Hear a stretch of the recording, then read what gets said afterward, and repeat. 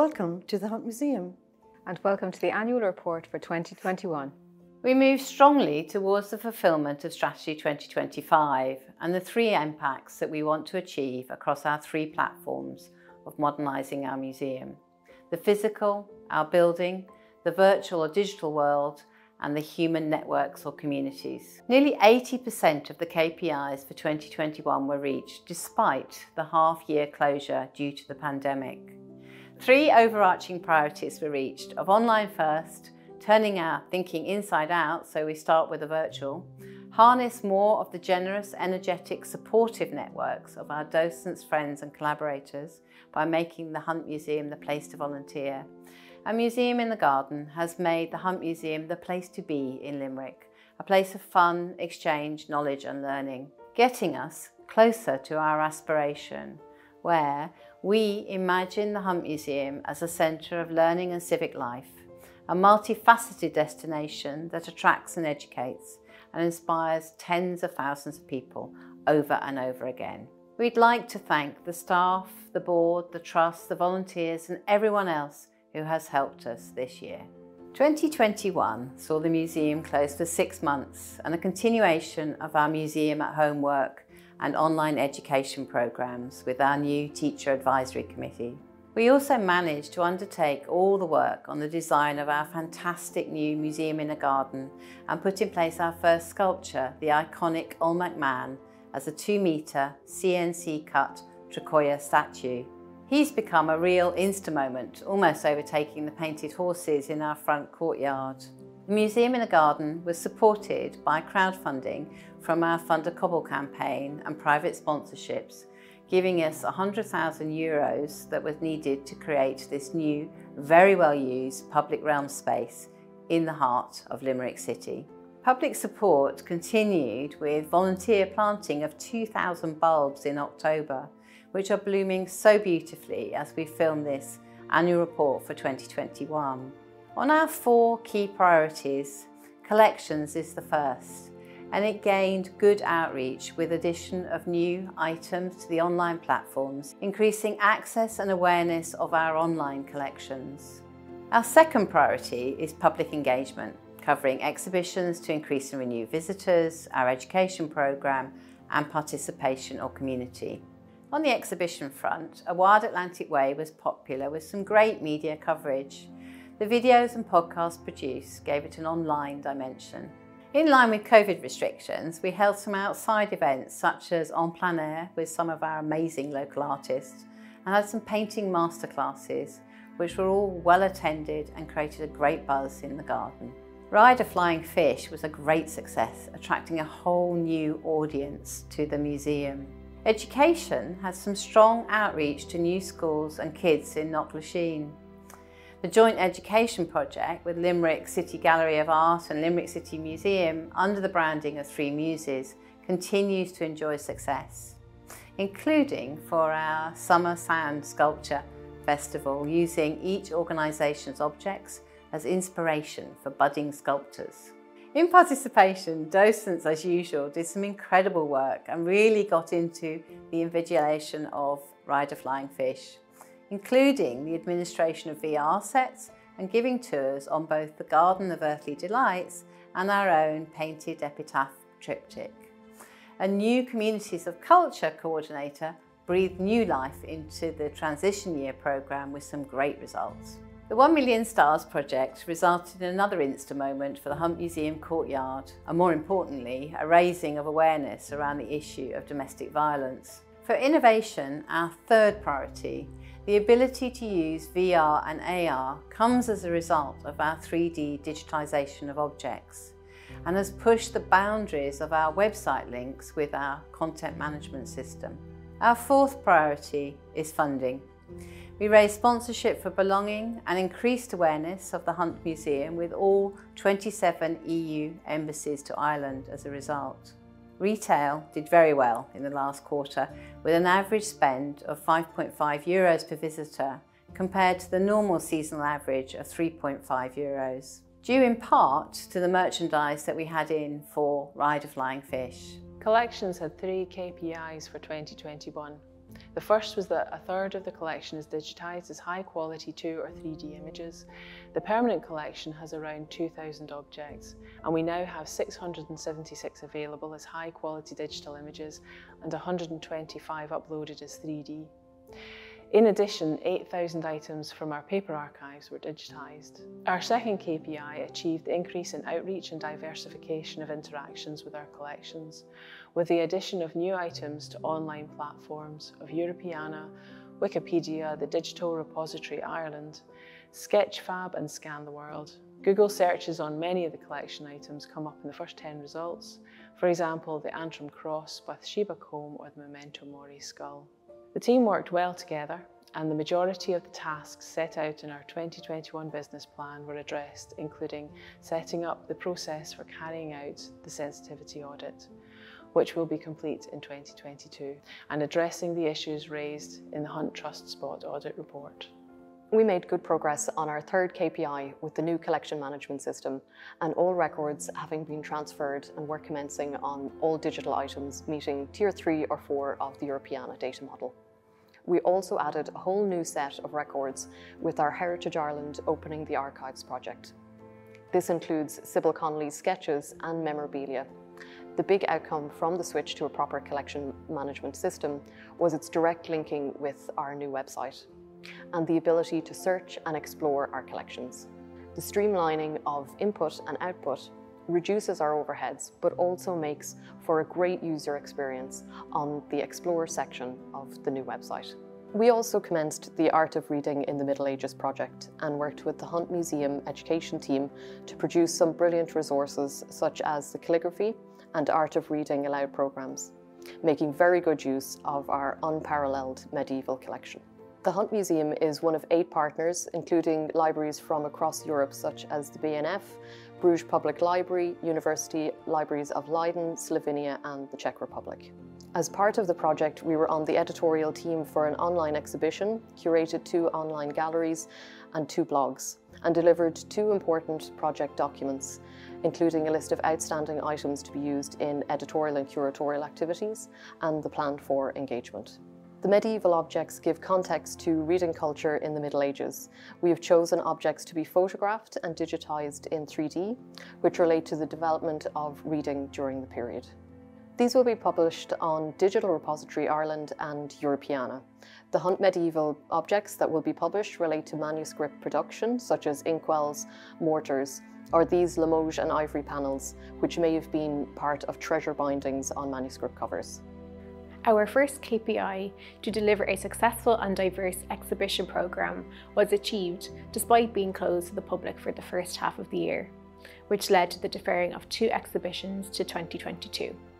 The Harper's Hogg Shinners Artist Exhibition sold well, netting nearly €13,000 Euro despite only being viewable online.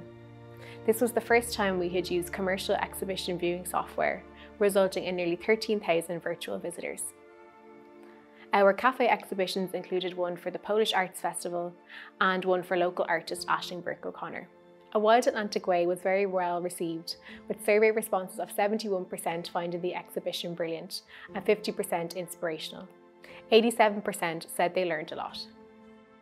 It attracted good numbers for the domestic tourism market.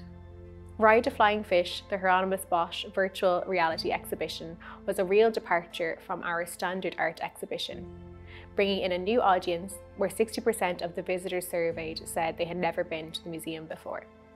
A direct link to our own 16th century painted triptych was made to the Garden of Earthly Delights as we start the process of tying the temporary gallery exhibitions more closely to the objects in our collections.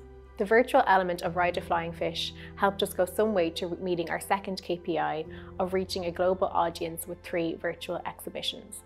Initial research into the cost benefits of virtual exhibition has shown them to not have a great return on investment. We are therefore going to carry out a full strategic review in 2022 on how to use virtual exhibitions to reach global audiences. Despite closure, 25% of primary and post-primary schools in Limerick City and County used Hunt Museum resources or participated in our programmes, both online and through physical interaction. Three new post-primary schools, Scoil Mhuire and Desmond College, both based in Newcastle West, and Coláiste Íde Agus Joseph in Abbeyfeale attended. One new primary school, Cuacora National School, participated in our educational programmes. One new significant partnership with Confirm Smart Manufacturing was developed, which enabled us to deliver a highly innovative and imaginative Science Week programme, allowing us to meet our Deliver One partnership with Learning Resources KPI. Our joint education programme, The Three Muses, with Limerick City Gallery of Art and Limerick Museum, was a little slow in 2021, but gained some pace with the return of primary schools in the autumn. Online, outreach and on-site workshops on art and identity were delivered with them. The autumn term also saw a rejuvenation of attendance by post-primary schools. Our Ride a Flying Fish workshop programme was very well received by them. I really enjoyed the students' interpretation of Hieronymus Bosch's Garden of Earthly Delights artwork, and we had great fun comparing the medieval society in which he lived to our current society using these Fiora headsets. They loved the immersive opportunities to enter this artwork, which really brought it to life for them. Without question, the third panel of this triptych artwork on hell was most popular with the boys. The level of engagement the students showed throughout the tours was phenomenal, as they had many questions and were eager to learn more. Teachers were very impressed with the overall experience and many plan to build on the learning through extension activities back at school. Our Ride a Flying Fish loan box was put at their disposal for this purpose. Three digital teaching and learning resources were delivered for the ARMA project. Three more will be delivered in 2022. We had some fun at the IMA Annual Education Outreach Online Conference, showcasing our virtual museum workshop programme using the open source platform Mozilla Hubs. Many thanks to Adam Stoneman and Hannah Bloom Teskey for their work on this. Our public engagement, participation and community had one KPI to consolidate, our community outreach, and we achieved this through the active register of volunteers and two key projects, Communities of Culture and 1 Million Stars. Communities of Culture was in its fourth round to work with TY students.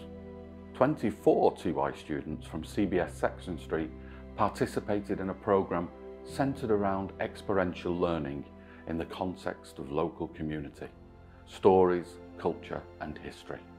Over a period of 12 weeks, the students took part in workshops and creative sessions, capturing audio and video stories from the north and south side of Limerick. This included the Vikings, the Abbey Fishermen, pastimes and games, and resulted in a selection of short videos which can be presented to primary school students as part of their local history education.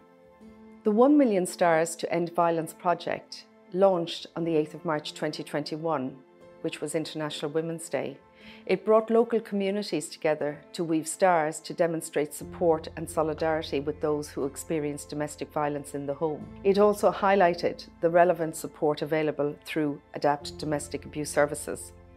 A consortium of local partners has come together to deliver this project in Limerick, including the Hunt Museum, Adapt Domestic Abuse Services, Seawell, Mental Health Ireland and Limerick City and County Council. Limerick Communities wove 10,000 stars and an installation created by Limerick City Build was unveiled by Mayor Daniel Butler in the Hunt Museum courtyard on the 8th of December.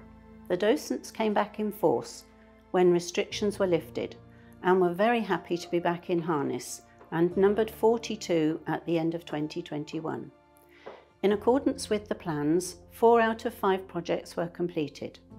These were the Wild Geese and Garden and Building Tours, the rejuvenation of the library project and development of tours for Wild Atlantic Way and Ride a Flying Fish. A Hunt docent training programme was put in place and the mentoring programme to fulfil it ran very well. The docents continue to actively participate in the museum with monthly poetry sessions, art appreciation sessions, coffee mornings and hold their regular monthly meeting. A newsletter started to go out weekly, helping all the docents stay abreast of what is happening in the museum. We are very pleased that the Friends of the Hunt Museum continued to be able to support the museum, despite the curtailment of activities due to COVID-19 for the first half of the year and again in December. Once restrictions became lighter, we had a few highlights, a gathering in my garden in June, a special reception and presentation of a Margaret Walsh commissioned ceramic plaque for Naomi O'Nolan in July, who retired after many years as head of collections and exhibitions. A visit was made to Springfield Castle in September, and thanks to the Silver Circle, another was organised to the Silver and Clock Museums in Waterford. Lectures from Anne Nash on William Trevor, from Dr. Una Brummel on the Irish American John Quinn, and one from David Burney, who compared two wedding feasts in paintings. Although the Christmas luncheon had to be cancelled, tickets for the raffle were drawn, allowing for a substantial contribution to the education and outreach projects in the museum. In summary, it was a difficult year, with the threat of COVID, restrictions ever present, but we held together with a very dedicated council, a loyal membership, emails, Zoom, etc., and look forward to returning to some of our usual activities in 2022. Deliver a Hunt Lab was our first KPI for innovation, and we have the beginnings of one with our new website section, Hunt Museum Studio, where we showcase what others have created using our public domain digital objects.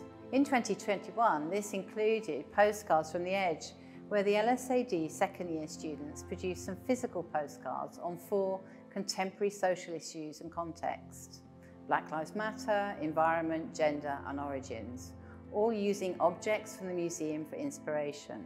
This was achieved in lockdown using our digital files and selling the postcards in the courtyard of the Hunt Museum. This section of the new website shows our Heritage Week foray into augmented reality as we seek to engage new audiences with our objects. Apollo learned to dance, supporting our second KPI to collide physical and virtual display in the museum, which linked to the work of creating a museum in a garden. Olmec Man became a two metre high iconic statue in the new garden, thanks to help from the ESB, Michael McLaughlin of Monaroo, Arup and transition year students from Ardscoil Mhuire Corbally and Coláiste Chiaráin Croom. Our third KPI proved challenging with the pandemic and museum closure, but we did manage to increase digital collaboration with communities. We held two scanathons with Ken Coleman of LSAD and Scan the World's John Beck and Elisa D'Antona, and put together a group of volunteers for weekly scanning sessions. We increased our 3D collection from 95 to 130 and produced more models for the objects that will be escaping our walls to live in the garden in 2022. The digitisation of our painted triptych for the Ride a Flying Fish exhibition was also a highlight. You can see things that were not visible to the naked eye, and we will publish a story and make a new digital exhibit in 2022. Two objectives were set out. The first was to have a legacy giving programme in place. This was not achieved as we concentrated our efforts on sponsorship for our 2022 Belonging exhibition. But the second, relating to the funding of 50,000 for health and wellbeing and the schools programme was. Three Muses continued with funding from Limerick City and County Council for their two-thirds contribution to the programme linked to the Gallery of Art and the City Museum. And we gained an additional 19,000 for our community-related work from the Department of Tourism, Culture, Arts, Gaeltacht, Sport and Media for several health and well-being projects to be carried out in 2022. Most importantly, we saw a diversification of funding with the winning of a couple of EU projects and Heritage Island grants.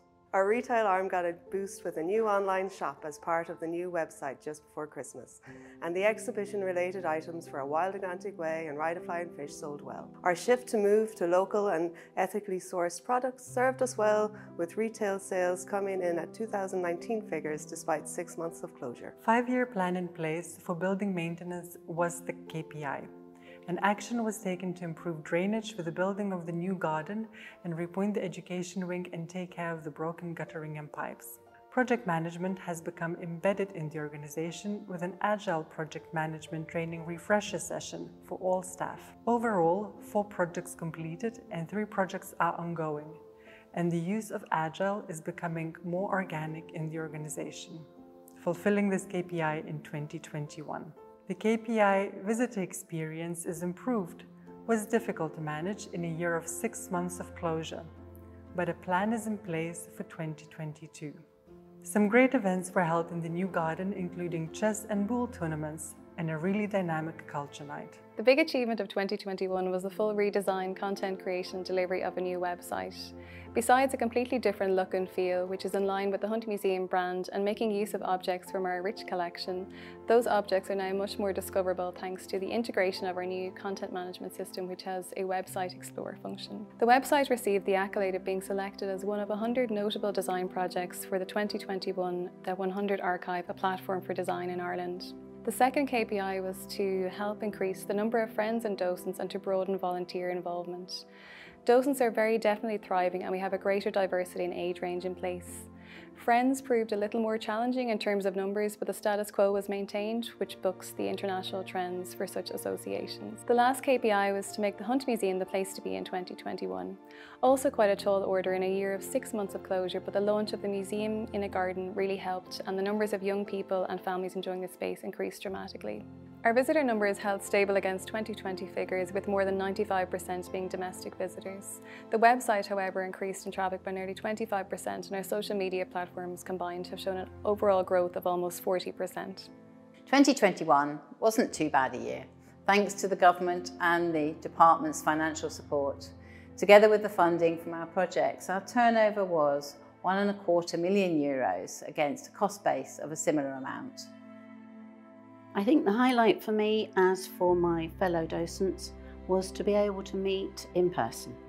After nearly two years of lockdown, we found it very strange. One of the things that we love about being a docent is meeting other docents from all sorts of backgrounds, sharing our information and generally catching up. So having our monthly meeting where we could all meet together was superb. And the last meeting we had nearly every docent, 40 plus, which was just fantastic. My highlight of the last year was seeing Apollo dance, uh, with, along with a, a, group from the University of Limerick, Alan, led by Alan Dormer. We were able to create a, an augmented reality experience that allowed the visitors to virtually interact with the object and learn a little bit about the symbolism of the, the crafts that are depicted on the object itself. One of my highlights of 2021 was the opening up the archives project where we digitised Sybil Connolly's uh, sketches and memorabilia. The highlight of 2021 for me was definitely the Wild Atlantic Way exhibition. It was just great to see people back in the gallery space after so long being closed from COVID. So it was just fantastic to see people interacting with art again in, in person rather than virtually or, or online.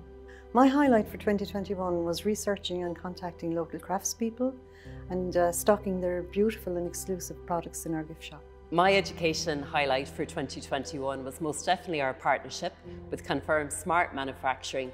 Uh, it enabled us to deliver a fun and innovative Science Week programme for post-primary schools, exploring the use and application of smart technology to art. Uh, my highlight of 2021 was starting to work for the Hunt Museum in the role of Communities of Culture. It's been an exciting period um, where we've got really engaged with uh, our local communities and it's just been joyous to see the transformation of a group of 24 TY students. My highlight of 2021 at the Hunt Museum was the continuation of engaging with various different communities uh, throughout the Limerick city and county and bringing people together even during lockdown times and encouraging people to stay connected. One Million Stars and the Hunt Museum in the Garden projects were key and significant in keeping this connection and engagement going. There were so many great things. Uh, I loved the launch of the garden uh, and I loved seeing people really utilizing the space, playing chess, playing pool um, every morning uh, when it's good weather and I come to work. I see people playing pool, and when we lock up the museum, I really um, see people very reluctantly giving up um, the chess pieces. So I think that's a highlight. People really enjoying the garden. My highlight for 2021 was reopening the doors to the Hunt Museum and welcoming back our visitors, volunteers and friends and we hope to welcome very many more back in 2022.